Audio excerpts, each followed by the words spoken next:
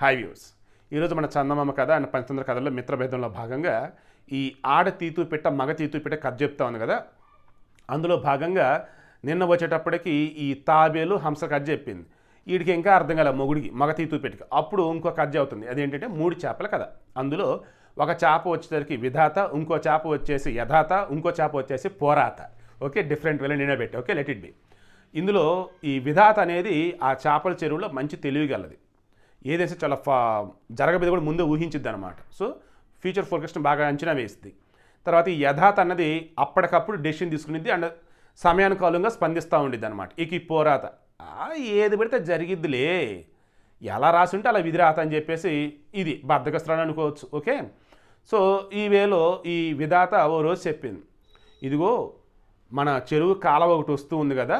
ఈ కాలవ అవతల నుంచి వచ్చేది ఒక పెద్ద చెరువు నుంచి బట్ ఆ పెద్ద చెరువులో నీళ్ళు వచ్చేసి ఎప్పుడు పుష్కలంగా ఉంటాయి. కానీ వర్షాలు లేవు కాబట్టి మన చెరువులో నీళ్ళు తగ్గిపోతూ ఉన్నాయి. ఆ కాలం నుంచి కూడా ఈసారి నీళ్ళు వదిలేది ఛాన్స్ తక్కువ అంట కాబట్టి మనం ఈ చెరువులో నీళ్ళు ఎండిపోకముందే ఆ కాలం ద్వారా పెద్ద చెరువులోకి వెళ్దామని చెప్పేసి ఈ విధాత చెప్పింది. అప్పుడు ఈ యథాత వచ్చేసి ఏం ఏముంది ఆ చేప?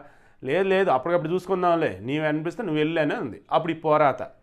నువ్వేమంటావు అంటే అబ్బే కదిలేదేలా ఇదే చెరువు. ఏం కాదు వర్షాలు ఫుల్గా వస్తాయి అని చెప్పేసి బిల్డప్ కొట్టింది. అరే కింద వచ్చేసి నేల తగులుతా ఉంది ఎండిపోతా ఉంది కదా అంటూ ఉంటే చెరువు అన్నాక ఎండిపోదే ఏంది? ఎడగడ నీళ్ళు ఉంటే ఏం కదా అద్దని హడావుడి చేసింది.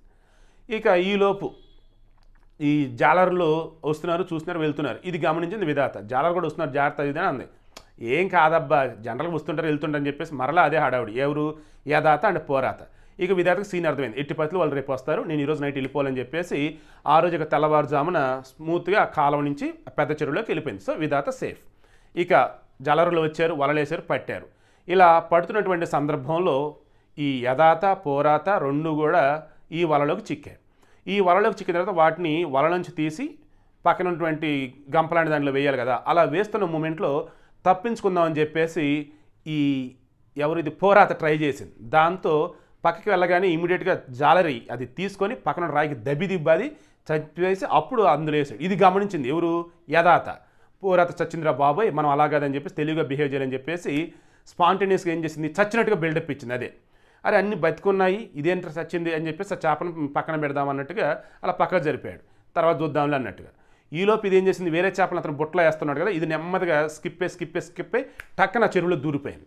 సో యథాత ఆ సందర్భానుసారంగా తనను తను కాపాడుకుంది. ఈ కథ ఆడతీతు పెట్ట మగతీతు పెట్టగా చెప్పింది. అప్పుడు మగతీతు పెట్ట అంటుంది ఇప్పుడు ఏం నేర్చుకోవాలంటే ఈ కథ నుంచి అంటుంది. అనగానే తీ- ఆడతీతు పెట్టి చెప్పింది ఒరే బాబు ముందు చెప్పిన ఇప్పుడు చెప్పిన ఏంటి? జరగబోయేది మనకు ముందే తెలిసినప్పుడు జాగ్రత్త పడాలి. అదర్వైజ్ చాలా చాలా ఇబ్బందులు కొని తెచ్చుకుంటాం. చేజేతిలో ప్రాణాలు పోతారా బాబు. అని అంటే ఏ ఏం కాదు నువ్వేదేదో చెప్తుండని చెప్పేసి మరలా మగతీతు పెట్టి అక్కడి నుంచి వెళ్ళిపోయింది. ఈలోపు సముద్రం తన ఉగ్రరూపం చూపించేసి అలలు భయంకరంగా మీదకి వచ్చి పడ్డాయి. దాంతో పాపం ఈ ఆడతీతు పెట్ట పెట్టుకున్నటువంటి గుడ్లు గూడు మొత్తం బ్లాక్ వెళ్ళిపోయింది. ఇక ఈలోపు దాని ప్రాణం కూడా పోయేటటువంటి అలాగా తప్పించుకుని ఎగిరేసి ఇక మగతీతు పెట్ట వచ్చింది. వచ్చి రాగానే సారీ నన్ను క్షమించు అద్దెనిది అంటుంటే నీకు ఎన్నిసార్లు చెప్పాను రా నెత్తిన మొత్తుకొని చెప్పాను నువ్వు వినలేదు. చూడు ఇప్పుడు ఏమైంది అద్దెనిది అంటుంటే లేదు లేదు ఈ సముద్రానికి నేను బుద్ధి చెప్తా. మన రాజునటువంటి గరుత్మంతుడిని ఖచ్చితంగా నేను ఇక్కడికి రప్పిస్తా. ఆ సముద్రానికి ఏ రకంగా బుద్ధి చెప్పిస్తాను చూడు అని చెప్పేసి ప్రగల్భలు పలుకుతా ఉన్నాడు. ఒరే నువ్వు మారవేరా ఇంకా? ఇంకా ప్రగల్భలు పలుకుతున్నావు ఏంటర్ బాబు అని చెప్పేసి ఆడతీతు పెట్టి తిడతా ఉంది. ఏ లేదు నువ్వు బాధపడమాకు నేనున్నా నేనున్నా అని చెప్పేసి అంటూ ఉన్నాడు. ఈలో మరి ఏం చేస్తాడంటే చెప్పా కదా. మన రాజు గరుత్మంతుని పిలిపిస్తా అని చెప్పేసి ఆ చుట్టుపక్కల ఉండే పక్షులు అందరూ సమావేశపరిచి ఈ సముద్రం కావాలని చెప్పేసి మన మీదకి వచ్చి ఈ రకంగా దాడి చేసింది.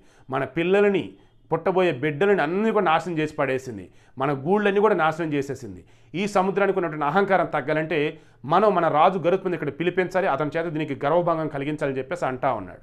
మరి ఆ తర్వాత ఏం జరిగింది? గరుత్మంతుడు వస్తాడా? రాడా? సముద్రం యొక్క గర్వభంగం పో ఏమంటే సముద్రానికి గర్వభంగం కలుగుతుందా? కలగదా? రేపు కల్లా డిస్కస్ చేద్దాం.